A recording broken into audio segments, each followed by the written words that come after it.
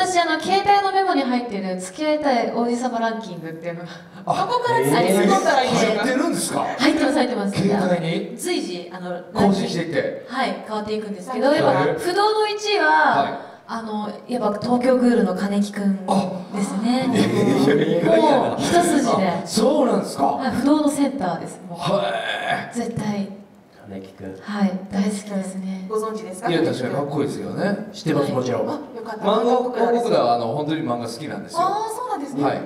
すみません。でももうあの広瀬アリスさんのコーナーなんで大丈夫です。すみま静かにしてていいの。はい大丈夫です。わかりました。はい。